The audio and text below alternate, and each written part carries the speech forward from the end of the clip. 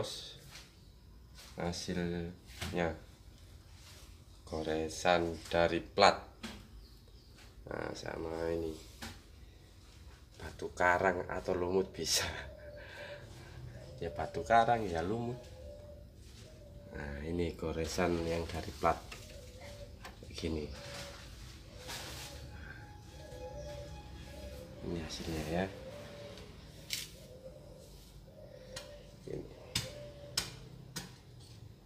oke. Terima kasih